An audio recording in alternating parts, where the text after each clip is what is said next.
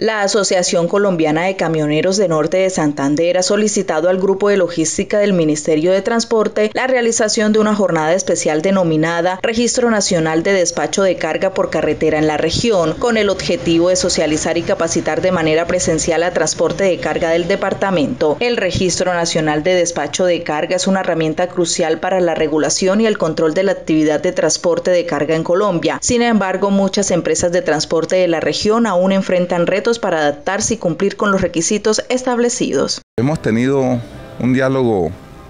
eh, fluido y fructífero con el Ministerio de Transportes a través de los distintos ministros que han estado al frente de la cartera y hoy tenemos a la doctora o a la ingeniera María Costanza, quien ha sido pues eh, garante de todos los acuerdos que se han hecho acá en cuanto a las peticiones respecto al arreglo de la vía Ocaña-Cúcuta, y hoy en cabeza de ella, pues la semana pasada tuvimos una reunión en Bogotá con algunos asesores de ella y se pudo programar esta reunión que se va a llevar a cabo en la ciudad de Ocaña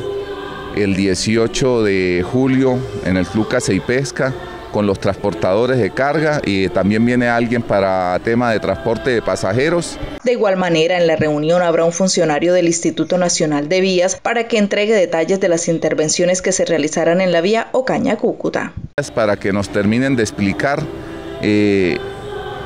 los recursos que se nos dijo que se iban a invertir en la vía, 30 mil millones, el primero de abril me lo socializó el ingeniero Elías. Eh, el de la territorial Ocaña y el ingeniero Leonel Valero, que es el de la territorial de Cúcuta, que va del Alto el Pozo hasta Cúcuta. Entonces esperamos clarificar y mirar a ver qué, qué va a pasar con estos recursos, cuándo se van a invertir y cómo va ese pliego, cómo va esa contratación para que dichas obras empiecen con prontitud. Esta iniciativa busca fortalecer la competitividad y la formalización del sector en norte de Santander, brindando las herramientas necesarias para operar de manera eficiente y cumplir con la normativa vigente.